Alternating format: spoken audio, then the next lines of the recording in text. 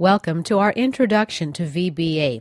In this segment, we'll be learning about what VBA is and what it can do for you.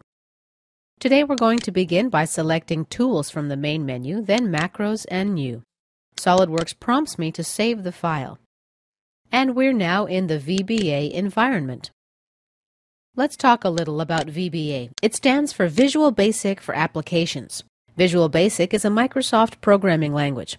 Now, if you've never done programming before, this might seem intimidating. However, it actually can be quite simple once you get your mind around the basics.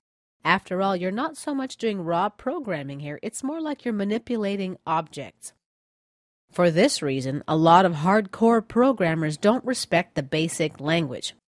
Let's talk a little about BASIC. BASIC was developed back in the 1960s as a learning tool for programmers.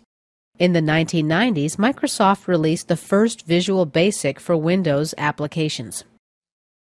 Today, VBA doesn't have much in common with BASIC, but BASIC is indeed the foundation on which VBA was built.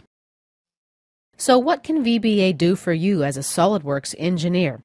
Basically, it comes down to much greater flexibility and control over your environment and projects. For example, you're able to create your own custom tools. By the way, you may be interested to know that knowledge of VBA can be applied in Microsoft Access, Excel, and many other applications.